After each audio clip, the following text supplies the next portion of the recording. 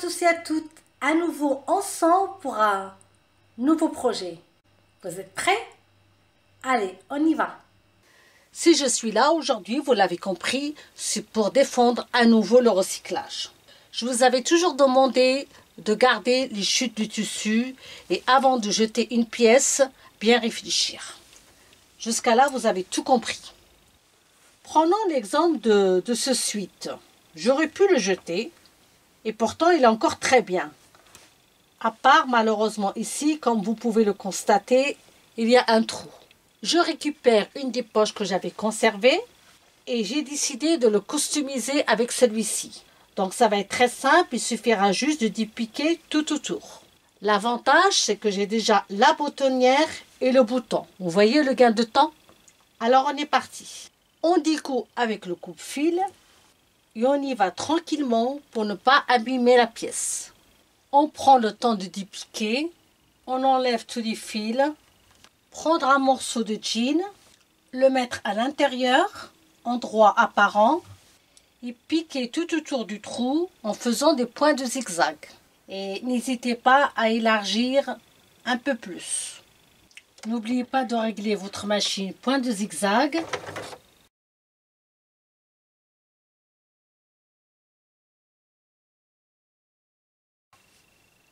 L'excédent.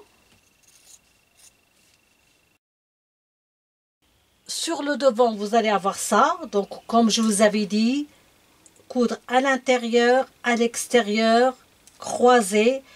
Faites en sorte d'arrêter le trou. N'oubliez pas de mettre un carton ou quelque chose à l'intérieur. Quelle que soit la forme de votre poche, ce qui est important, c'est de camoufler ce trou. Pour ma part, je vais poser la poche de travers volontairement. Épingler tout autour et piquer par-dessus en faisant exactement comme la poche. D'ailleurs, vous avez encore la marque. Pour ma part, ici, j'ai une nervure et une surpiqûre. Et c'est exactement ce que je vais faire. Sans oublier toujours point d'arrêt début et point d'arrêt à la fin.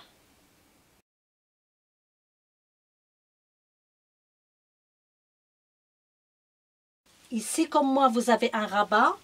Faites bien attention que les deux extrémités arrivent bien l'une en face de l'autre. Vous laissez un décalage de 5 mm, épinglé, et vous allez la maintenir en deux fois. La première, vous allez faire une piqûre à l'intérieur à 3 mm. Deuxième partie, rabattre sur l'endroit et faites une surpiqûre de 5 mm. Point d'arrêt début et fin. Vous allez avoir ce résultat, vous voyez, votre trou est bien camouflé. On ne le voit vraiment plus. Poursuivez en coupant deux rectangles 15 cm sur 11, pliez et épinglez.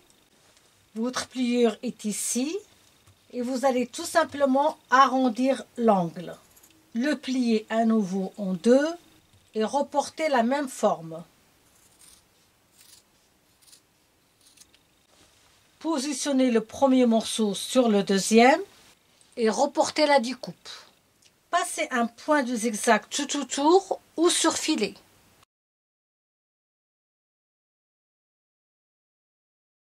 Ces bandes vont nous servir pour renforcer les coudes et surtout pour donner un style. Mettez votre pull à l'envers sur une longueur à peu près de 20 cm, donc juste ici, à ce niveau. Vous avez deux options, ou d'y piquer ou couper. Pour ma part, je vais couper près de la couture. Pour placer ce morceau sur la manche, c'est très simple plier dans ce sens, repérer le milieu. Ici, c'est le devant, la manche, la partie devant. Ce morceau-là va se poser derrière. Donc, c'est très simple. Pliez votre manche en deux.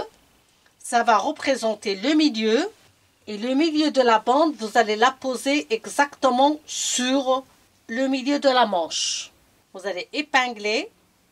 Donc, épingler exactement de cette façon donc le milieu de la manche avec le milieu de la bande.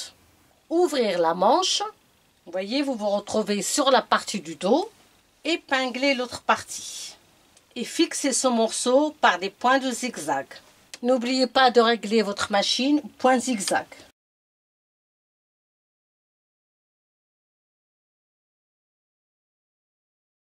On va fermer l'ouverture, on épingle et vous allez venir coudre en rattrapant le début et la fin. Vous faites une couture et par la suite un point de zigzag ou surfilé.